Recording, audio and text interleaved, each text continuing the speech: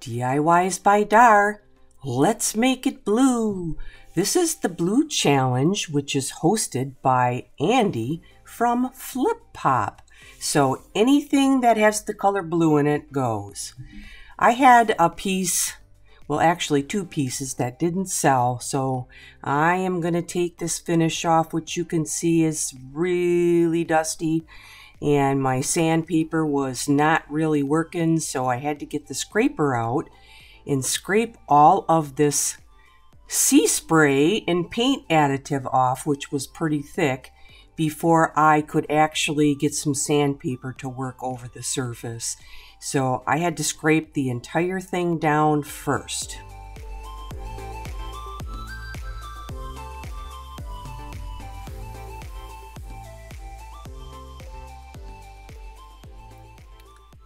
Now, the legs on the table were a little bit wonky, and I thought maybe that was affecting its sale.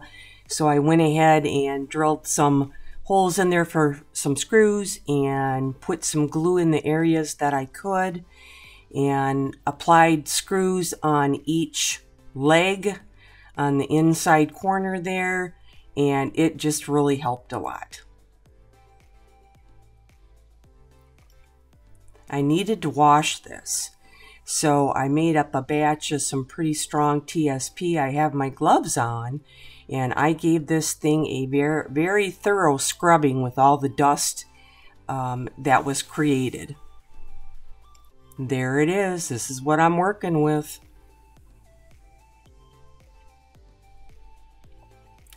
Now I have some Boss primer and I decided to go ahead and hit it with this first. I just put one coat on all over the chair and you can see that I left the rope that was wrapped around the lower legs on the chair and on the table. I left that on there. Um, so I went ahead and I got my primer on.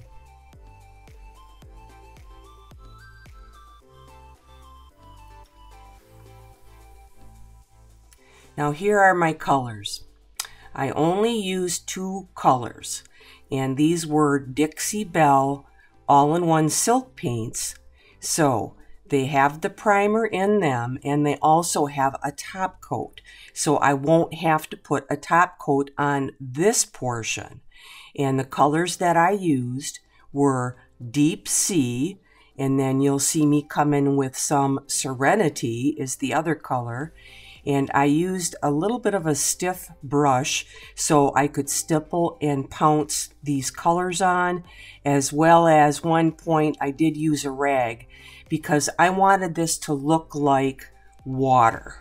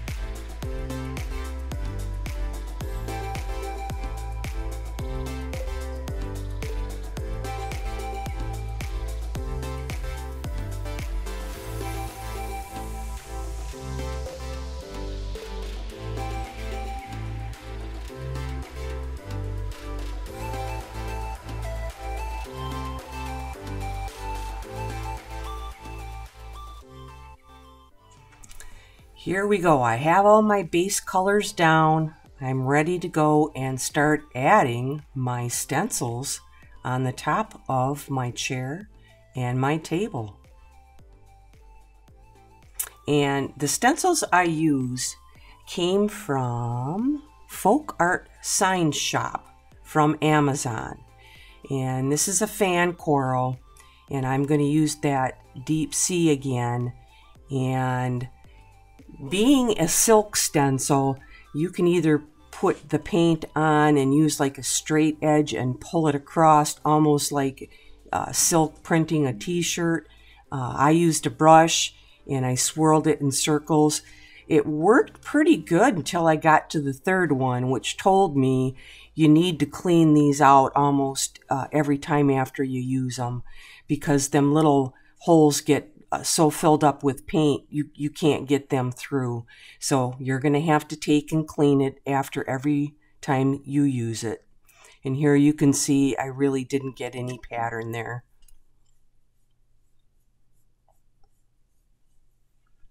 Now it's time for my big ugly. And on um, these stencils, what I used was just the mineral paint in drop cloth, which I was going to have to seal all my fish um, with a top coat. So I just used some matte polycrylic.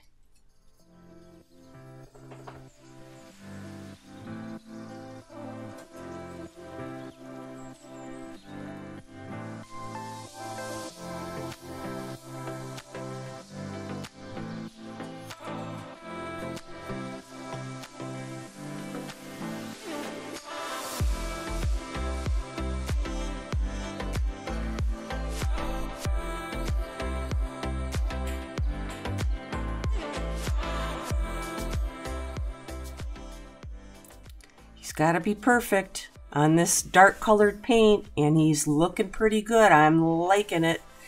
You can see that I put another stencil on there which came in this group. It's just like a little plant of some sort. And here I have all my stencils pretty much on the top of the chair, the top of the table, um, on the very, very top of the chair, I also put a couple smaller skeleton fish on there, which you can see.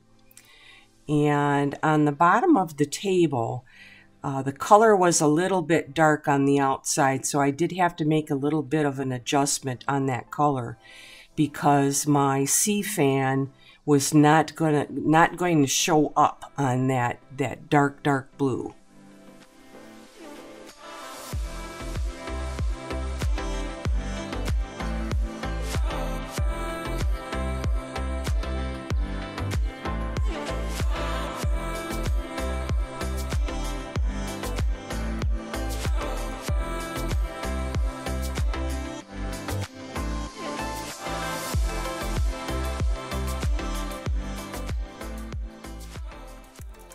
Here I am getting my tiny little fish in there and I just put something on the edge because I didn't want to go over and get that white paint on my backdrop um, because it would really stick out and it would be kind of hard to fix. So I just stuck a piece of sandpaper there as I was tapping my paint in.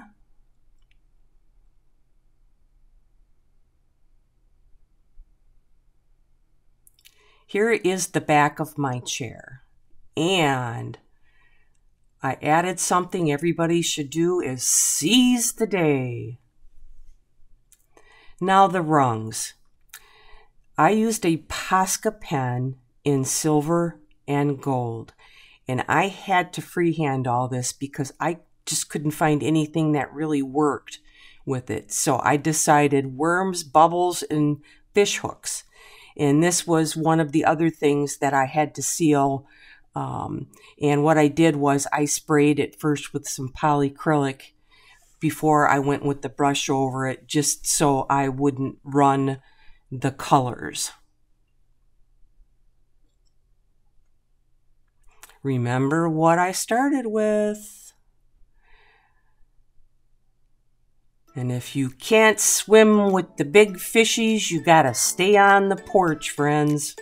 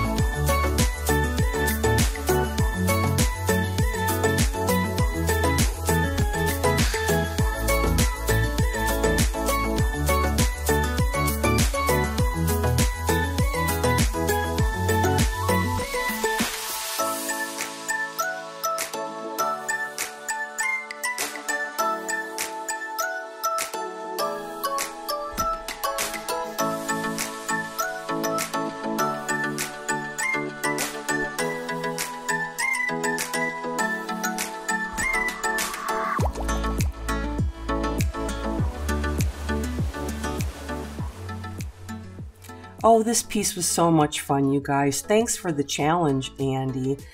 And my next video will be up next weekend at regular time, Sunday at 7. And it is another challenge with Corey from Desert DIY. Like, subscribe, and thanks for watching.